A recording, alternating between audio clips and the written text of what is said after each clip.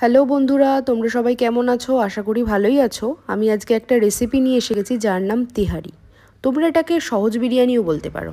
প্রথমে একটা ফ্রাইং প্যানে লবঙ্গ, এলাচ, দারচিনি, সাজিরা সামরি জায়ফল জৈত্রী এই সমস্ত শুকনো খোলায় নেড়ে সেটার একটা ফাইন ডাস্ট তোমরা বানিয়ে রেখে দেবে আগে থেকেই। তারপর পরিমাণ মতন পেঁয়াজ, লঙ্কা, আদা, রসুন আর টমেটো নেবে। লঙ্কা, আদা, রসুন আর টমেটোটার একটা ফাইন পেস্ট তৈরি করবে আর পেঁয়াজটা কুচি কুচি করে রেখে দেবে। ফ্রাইং প্যানে তেল গরম হলে প্রথমেই আমরা আলুগুলোকে ভেজে তুলে রাখব।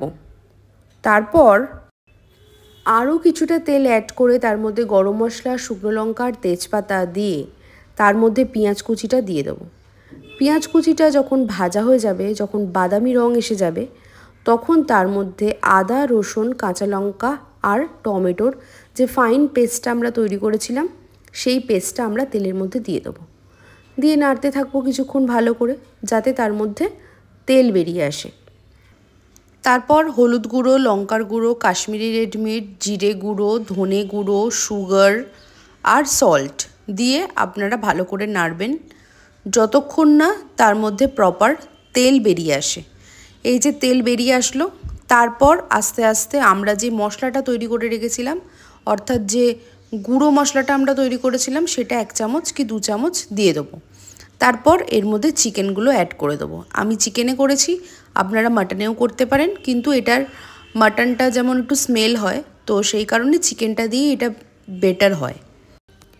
তারপর ভালোভাবে কষে মাংসটাকে, তার সাথে কিছু চাল আমাদের অ্যাড করতে হবে। আর এই চালটা আপনারা যত আগে থেকে ভিজিয়ে রাখতে পারবেন, ততই ভালো হবে। অর্থাৎ সোকড রাইস আমাদেরকে এর মধ্যে দিতে হবে। দিয়ে ভালো করে নাড়াচাড়া করে জল দেবেন। আর জলের পরিমাপটা কেমন দেবেন? যদি আপনি দু কাপ চাল দেন, তাহলে চার কাপ জল দেবেন। এই পরিমাপে আপনাদেরকে এটা জলটা দিতে হবে। জলটা নাড়াচাড়া করার পর ভালোভাবে সেটাকে যখন ফুটবে, তার মধ্যে আমরা দিয়ে দেবো হলো যেই মশলাটা আমরা তৈরি করেছিলাম, সেই মশলাটা এক চামচ দিয়ে দেবো।